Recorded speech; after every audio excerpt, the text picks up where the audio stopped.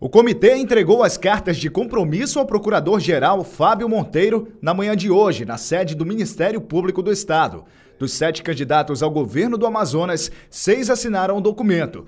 Sidney Cabral, do PSTU, foi o único a não registrar o nome. A Carta Compromisso propõe medidas para um governo justo, como o uso correto dos recursos, transparência dos gastos públicos e participação da sociedade. No sentido de transparência da administração pública, o não uso do caixador nas eleições, projeto de desenvolvimento econômico e social para o Estado para geração de emprego e renda, transparência total da administração pública e, mais do que isso, participação na sociedade nas decisões de governo. São esses os compromissos assinados por todos os candidatos que estão disputando o governo do Estado do Amazonas. E o Ministério Público vai cobrar a efetivação desses compromissos. A preocupação do Ministério Público bateu, convergiu com a do, do, do, movimento, no sentido de que é importante o perfil, é importante o compromisso uh, uh, dessas pessoas que pleiteiam a ocupação de um cargo chave aí gerenciando a, a, o nosso estado, o nosso país ou a nossa cidade.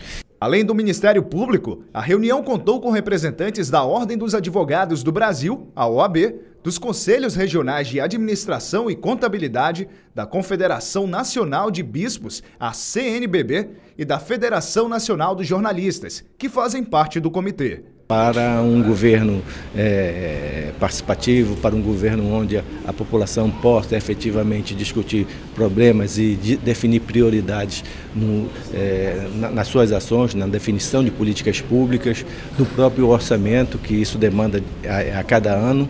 Então, nós temos, na verdade, o nosso lado cidadão, o, lado importante que vai além das questões trabalhistas, que é a sociedade. E por isso estamos aqui colaborando enquanto Federação Nacional dos Jornalistas nessas eleições é, 2018 no Amazonas.